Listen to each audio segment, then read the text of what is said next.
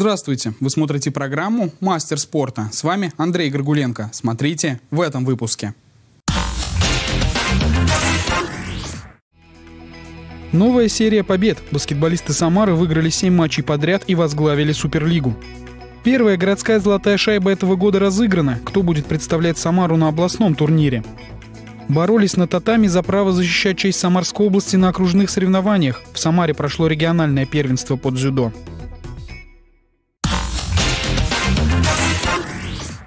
Баскетболисты Самары в 2021 году успели провести 4 игры. Все они закончились уверенными победами. Сначала в сибирском турне волжане переиграли Университет Югра и Новосибирск, а затем в спаренных домашних играх спокойно преодолели сопротивление соперников из Южно-Сахалинска и Иркутска.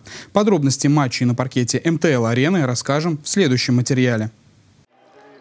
2020 год для баскетболистов Самары закончился неудачно. Команда хоть и успешно выступала в Суперлиге, но в другом турнире, Кубке России, проиграла в полуфинале и не смогла повторить прошлогодний успех.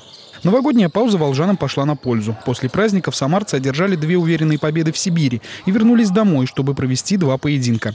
Первый против «Восток-65», которые, наоборот, в финал Кубка России выйти смогли. Игра на два фронта несколько ослабила гостей, а потому с самого начала встречи баскетболисты Самары уверенно взяли ход поединка в свои руки. К большому перерыву отрыв был почти 20 очков. Самара опытный соперник, не дали нам вернуться в игру.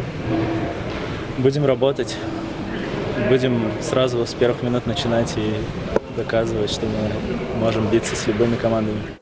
Во второй половине матча гости немного смогли сократить разницу в счете, но большего сделать не получилось. Самарцы успешно отвечали на все атаки сахалинцев и спокойно удерживали комфортное преимущество. Мы выглядели э, хорошо в этой игре, забили очень много с периметра, начинаем хорошо, э, держим э, э где-то, э, стараемся держать э, концентрацию и этим самым э, помогаем всей скамейке играть, практически всем, всех игроков заигрывать и ну, результат есть результат. Исход матча был ясен задолго до финального свистка. Четвертая четверть стала формальностью, которая определила только финальный счет. Итог – уверенная победа Самары 93-62.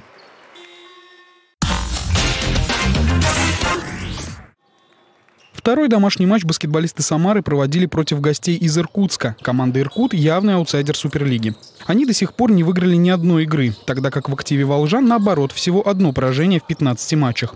Однако, несмотря на такую разницу в турнирном положении, иркутяне не смутились, смело начали матч и вели в счете. Но к середине первой четверти самарцы собрались и завладели преимуществом.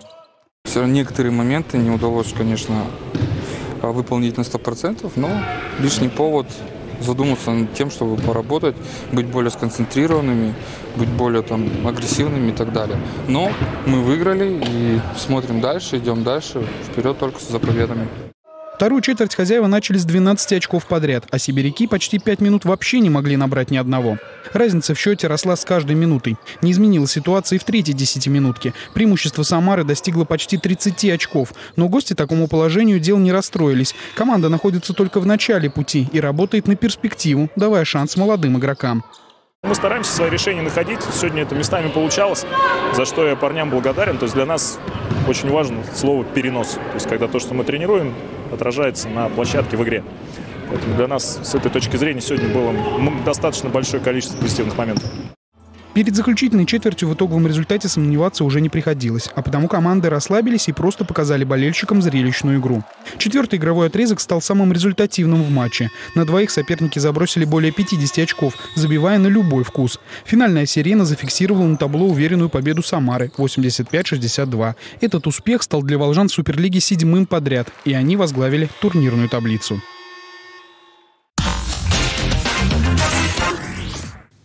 Самаре стартовал турнир «Золотая шайба-2021». Чемпионы и призеры будут известны в конце января. Победители сразятся за медали областного этапа. Кому повезет, тот поедет на всероссийский финал. В самарском турнире участвуют 14 команд по трем возрастным категориям. Кто стал первым в этом сезоне обладателем «Золотой шайбы» в Самаре, смотрите эксклюзивный репортаж.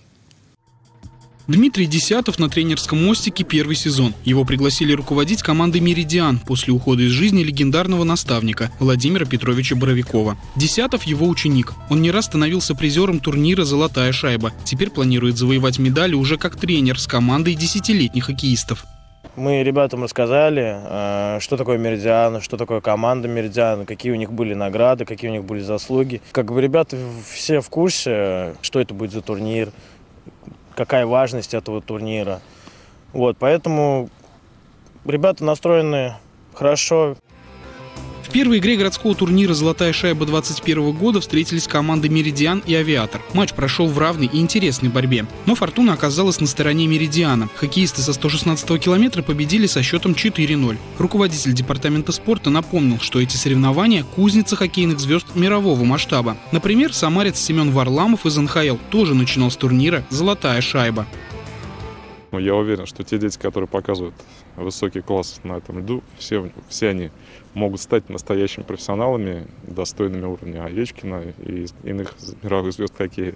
В этом году за золотую шайбу в Самаре сражаются на льду 14 команд в трех возрастных категориях. Несомненными лидерами турнира считаются старожилы любительского детского хоккея – команды «Меридиан», «Сатурн» и «Чайка». Слова благодарности всем тренерам, всем руководителям, кто находит возможность сохранять команды заниматься детьми, развивать детей, давать возможность детям заниматься любимым видом спорта. Э, отдельно хотелось бы отметить работу Самарской городской федерации хоккея. Э, новое руководство этой организации занимает очень активную позицию в э, развитии вида спорта на территории городского округа. Самарский этап «Золотой шайбы» продлится три недели. Матчи будут проходить на крытых катках «Кристалл», «Салют», «Орбита» и «Маяк». За это время юные хоккеисты сыграют 28 матчей. Впервые турнир пройдет по круговой системе, то есть в каждой возрастной группе команды сыграют друг с другом и выявят настоящего чемпиона. До этого года проходили отборочные соревнования после жеребьевки, а затем плей-офф. Но какая бы схема турнира не применялась организаторами, все равно «Золотая шайба» — это отличная спортивная арена отбора игроков для хоккейных школ Самары. У нас э, трое мальчишек э, вышли из золотой шайбы. То есть это команда «Авиатор» и «Чайка». То есть, э, соответственно, да, присутствует да, такая ступень развития, что мальчишки из дворовой команды играют в самом лучшей лиге по Волжье, группу А, среди воспитанников 2008 года. То есть, соответственно, значение золотой шайбы имеет очень большую роль в развитии хоккея в Самарской области. Родители юных хоккеистов тоже радеют за двухуровневую систему подготовки. Должен быть переход из любителей в профессионалы, когда будет ясно, что у мальчишек есть талант, а не просто желание играть в шайбу. И тот, и тот хоккей необходим. Любительский э, – это основа, это площадка, это фундамент, который нужен, чтобы скрывать таланты. И после того, как уже заиграют в любительском хоккее, конечно, лучше переходить в профессиональный хоккей. Если не будет э, того же самого дворового, ну и любительского хоккея, то и многих звезд не будет. Тот же самый Овечкин начинал с дворового хоккея, и где он сейчас? Первым обладателем золотых медалей турнира «Золотая шайба» в этом году стала команда «Меридиан» возрастной категории мальчишек до 12 лет. Талантливые хоккеисты учатся в 74-й школе на 116-м километре в Куйбышевском районе. Теперь они будут в феврале защищать честь Самары на областном этапе «Золотой шайбы». А турнир в городе продолжается. Борьбу ведут команды мальчишек до 10 и до 14 лет. Чемпионы и призеры соревнований получат заслуженные медали 28 и 29 января соответственно. Победители в этих возрастных категориях тоже примут участие в областном финале турнира «Золотая шайба». Юные дзюдоисты Самарской области разыграли путевки на первенство ПФО. Спортсмены показали свое мастерство борьбы на татами первенства области в двух возрастных категориях – до 13 и до 15 лет. Как прошли соревнования, расскажет наш корреспондент.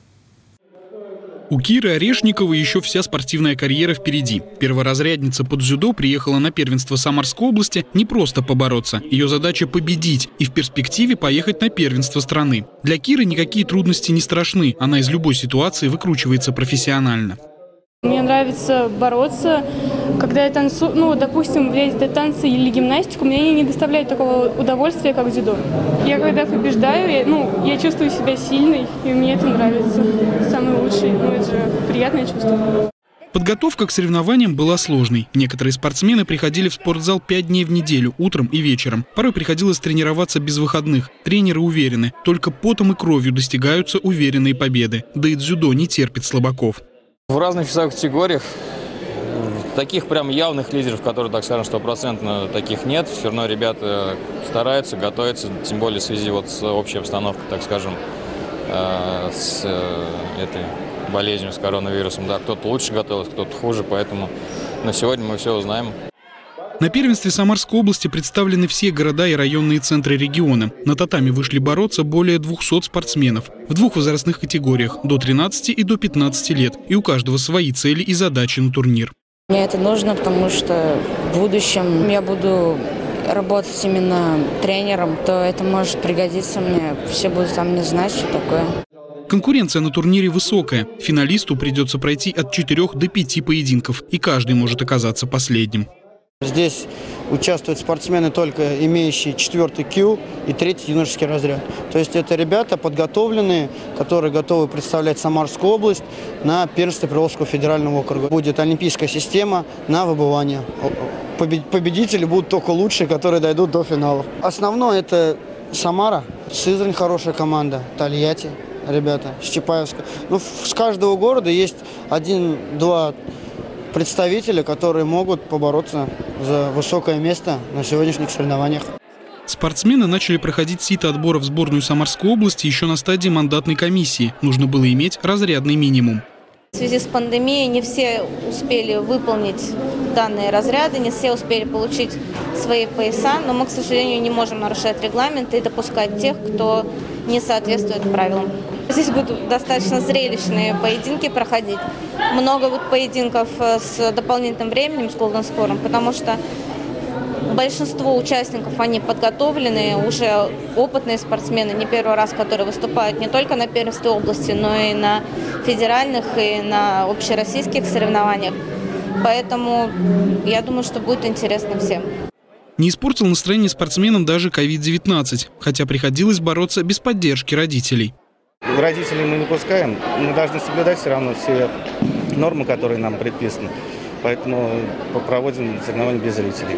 Лучшие дзюдоисты Самарской области в середине марта пойдут бороться на первенство ПФО. Соревнования пройдут в Пензе. Самарские тренеры уверены, спортсмены вернутся домой с копилкой, набитой медалями разного достоинства.